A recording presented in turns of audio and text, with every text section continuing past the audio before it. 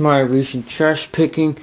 is a whirlwind vacuum cleaner. I already ripped out the motor, it's right here. Remove out the lamp. There you go. I already ripped out the motor, used a small light bulb. Hmm.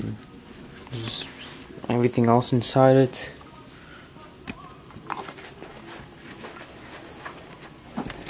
Just going to do a short test. See if it works. Anyway, here we go.